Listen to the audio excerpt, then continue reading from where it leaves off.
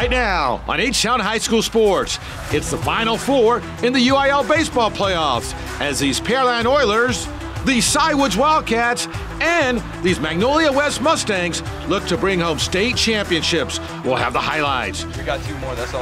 We're off to Cy Woods and Pearland for special reports on each of those teams. And we'll keep it in Pearland to hear from the 6A state softball champions. It just really showed our team's resilience and never giving up. Plus, it's the plays of the year from the baseball and softball diamonds. It's a gem of a show. H-Town High School Sports starts now.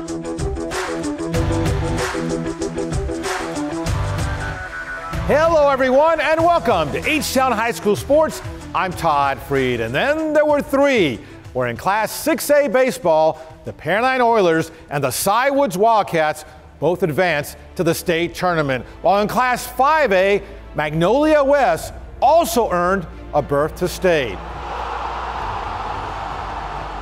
In the 6A state semifinals, Pearland faced Austin Westlake.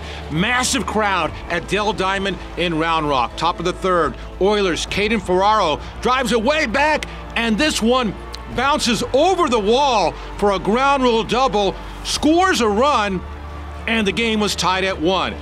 Same at bat. Nico Partida at the plate. He lines it to right. Catch is made. Brett Smostrela will tag at third. Here comes the throw, and he is safe. Two to one, Pearland. Same at bat. Braden Morse steps up for the Oilers, and Braden lines it to the gap in left center. The diving try is not made. Ferraro will score. It's three to one, Pearland on top. Very same at bat. John Moya rips it to right field.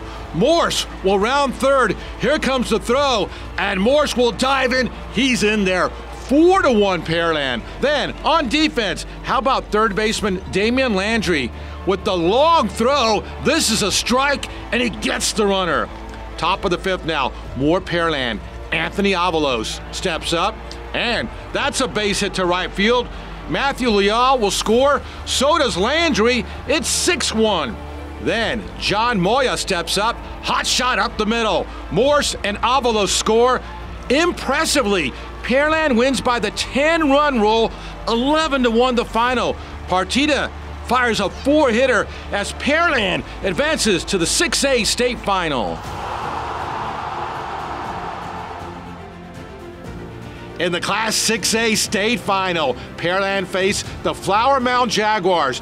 Jags get on the board first. Zane Becker at bat. Nice sacrifice bunt.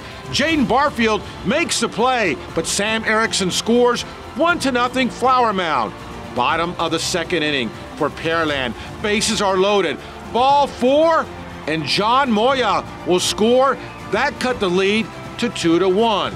Same at bat now. Caden Ferraro grounds the short. Jags try to turn two, but Ferraro is safe at first. Isaiah Castaneda scores. It's tied at two. In the third now, pitcher Jaden Barfield with the heat. He gets the strikeout. Same at bat though. Flower Mound's Adrian Rodriguez rips it to left field, way back. That is a two-run homer. It's four to two. Flower Mound on top.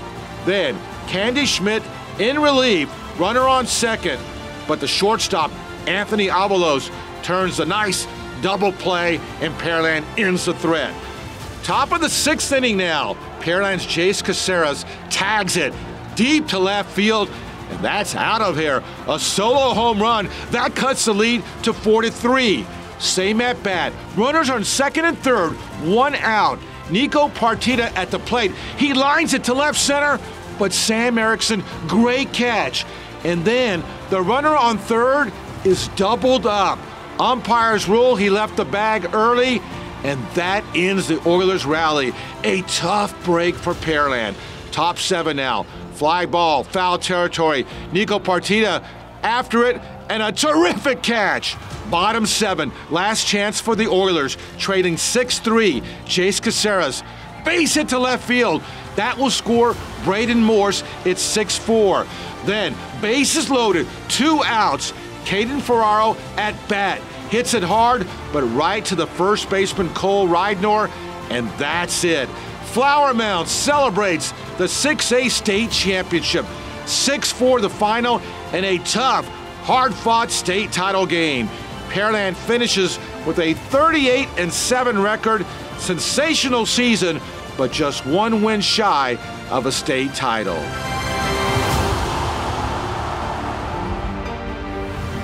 Time now for your Fred Haas Auto Group Game of the Week. Class 5A State Championship, Magnolia West facing Argyle. Third inning, Mag West pitcher Kalon Digert with a pair of strikeouts. It was scoreless. Bottom four, Eagles have two on, but Digert gets the K, still scoreless. We go to the sixth. Mag West has the bases loaded. Jackson Blank at bat. He lines it to right center, and that will clear the bases. One run in, a second run in.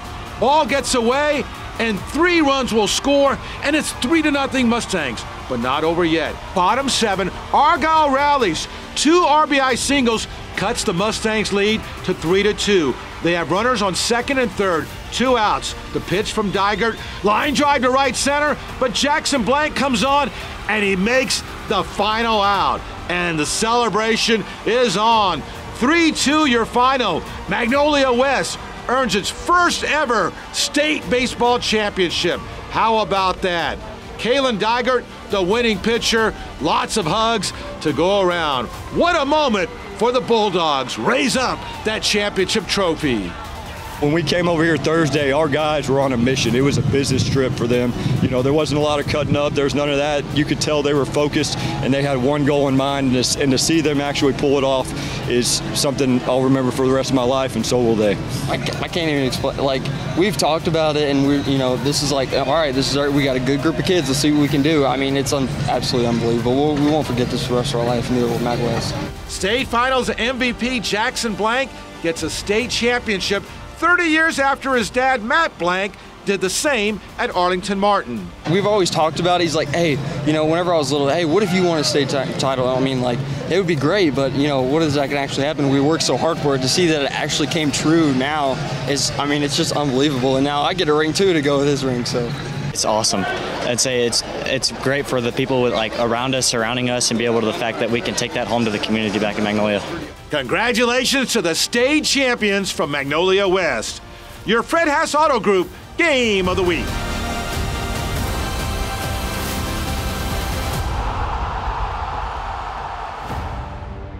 For the Pearland Oilers, it's been a phenomenal postseason, including last week's two game sweep of Katy to wrap up the 6A Region 3 Baseball Championship. More now on an amazing season for those Pearland Oilers. With its 24th victory in the last 25 games, the Pearland Oilers earned a berth to the UIL 6A State Baseball Tournament, capped off by a two game sweep of the Katy Tigers in the 6A Region 3 Finals. It's everything. I mean, it means the world to all of us. This is what we've been working for since we were like six years old. Oh, it's great. It feels great to have the whole community behind our backs. You know, um, just we're really proud to be able to represent so many people. The crowd that comes out to our games was just it's so fun to play in front of them because it's people that we've known our whole lives, and it's so good to finally be able to represent them at a state tournament. It feels amazing. You know, we worked hard all season. Past past three years since I've been here, we've been working real hard, and all these seniors they worked their butt off all four years they've been here.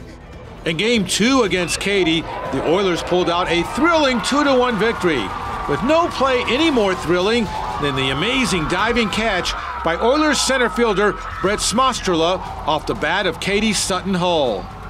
I just saw it off the bat and started running towards the ball and just hoped I didn't dive into the wall.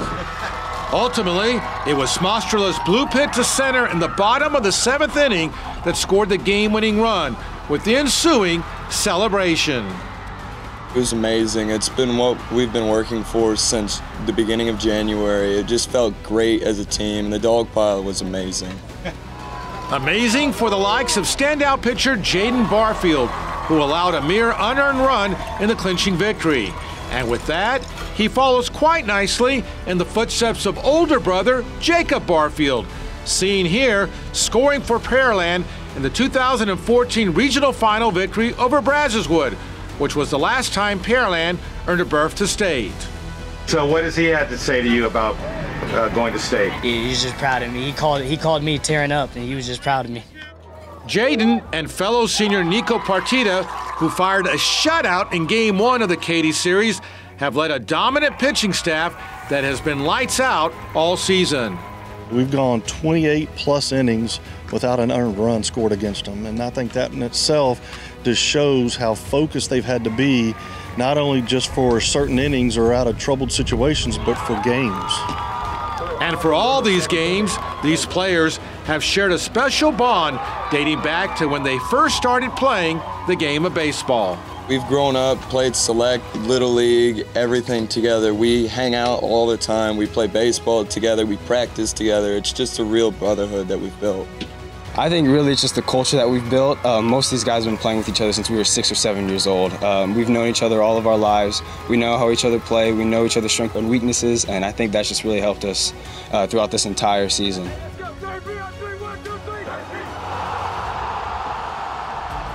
Up next, we're off to Cy Woods for a special report on the Wildcats' historic baseball season. Then it's back to Pearland to visit with the 6A state softball champions. And big news surrounding the 5A state softball champions from Lake Creek.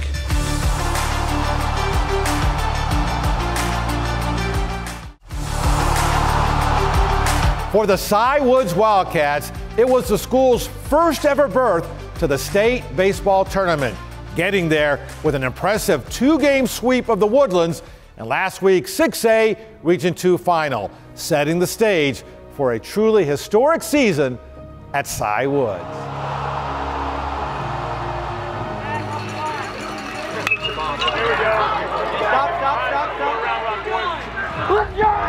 As the Cy Woods Wildcats celebrated the 6A Region 2 championship with a two game sweep of the Woodlands, The Cy Woods Wildcats are going to state, right? the Wildcats earned their first ever berth to the state baseball tournament. Hey, we weren't coming over here to get no games, It's great. Um, yeah, first time ever in school history. Uh, it's a great accomplishment. We've worked hard for this, and uh, we're looking forward to it. Uh, We've been thinking about state for a long time. It's been it's been the goal. Um, I mean, we've worked really hard to get to this point, um,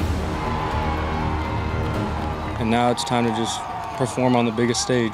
It's pretty exciting. It's been a goal since my freshman year and my sophomore year being on varsity as a sophomore. We got a great group of guys here. Everyone does their job, comes in clutch when needed, and there's nobody, it's all about the team and not me.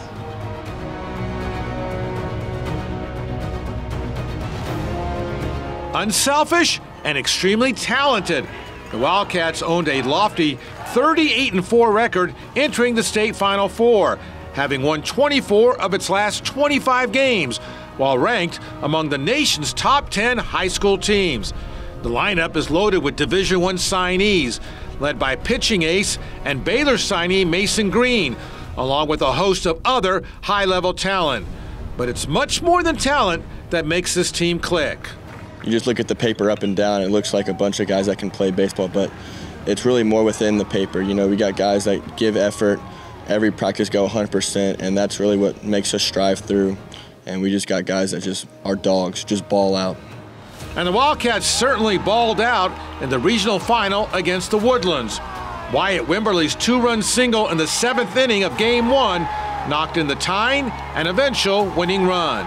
It was a pretty crazy moment. Never done anything like that before, uh, but I had to get the job done.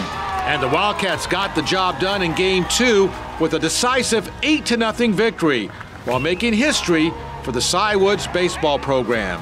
We just set a goal early in this fall, and you know we started working early, and uh, um, knew that if we put in the work, uh, that we had the talent to uh, make a deep run in the playoffs. The deepest run in school history. We got two more. That's all.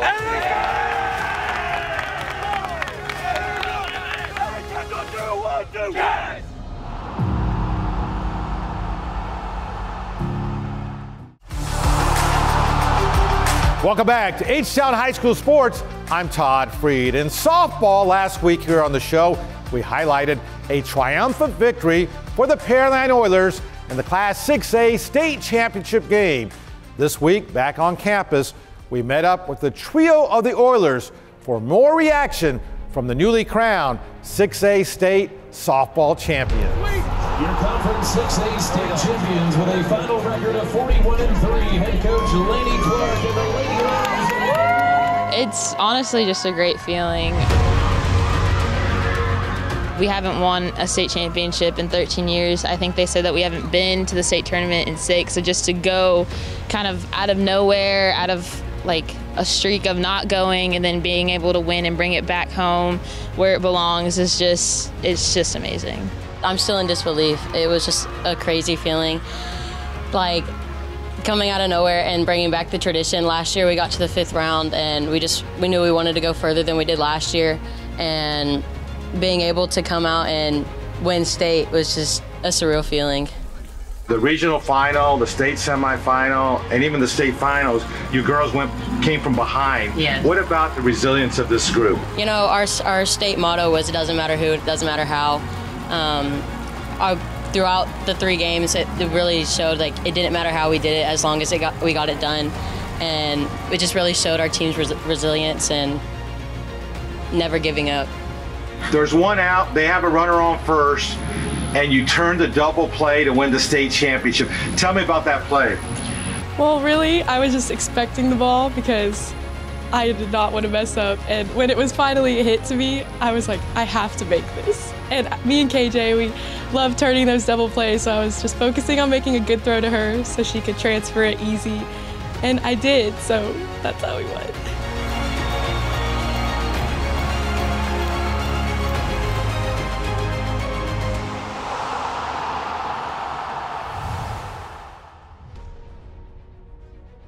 There was huge news out of Lake Creek this week, where the head coach of the back to back 5A state softball champion Lake Creek Lions, Michelle Rachinsky, announced she would be stepping aside as the Lions head softball coach.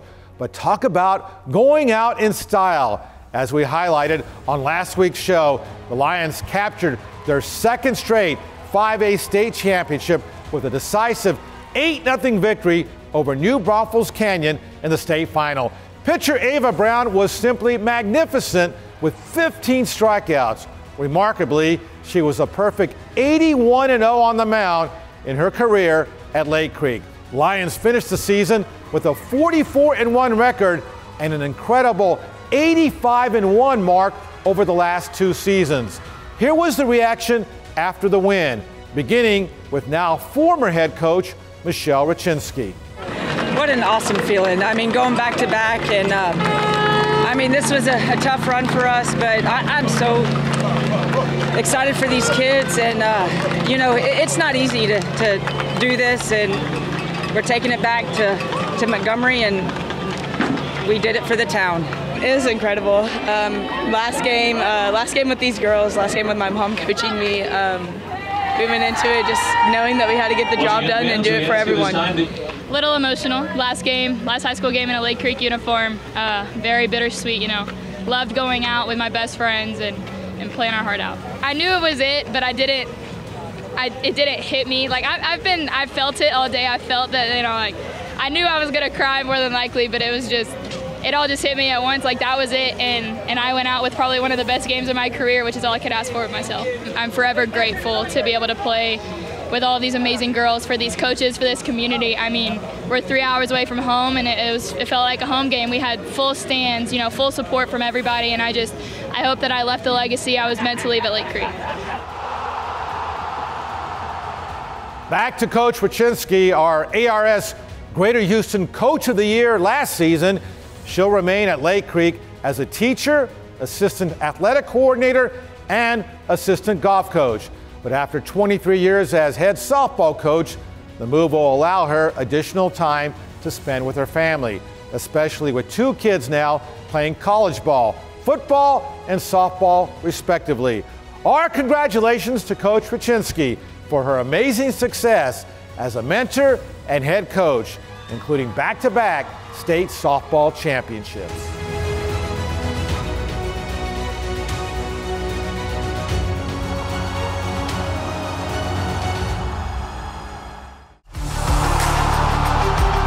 Welcome back to H-Town High School Sports. I'm Todd Freed. Well, all good things must come to an end. But on this, our last show of the season, we leave you with even more greatness with our Rhythm Energy electrifying plays of the week. 6A state semifinals. Pearland's Damian Landry at third base.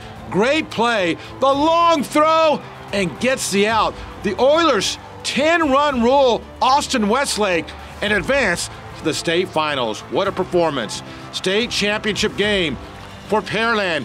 Here's Nico Partida at third base. He stays with it and makes the grab. But Flower Mound is the state champ.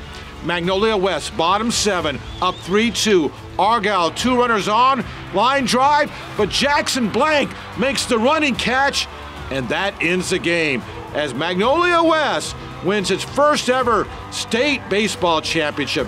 How about that dog pile? Congratulations to the Mustangs. Your Rhythm Energy electrifying plays of the week. Now that's what I call electrifying. What a memorable look back. But guess what? It's now time to look ahead. We'll be back here at the end of August for week one of the football season. Until then, thanks for watching. I'm Todd Freed. Until next time, stay H Town proud.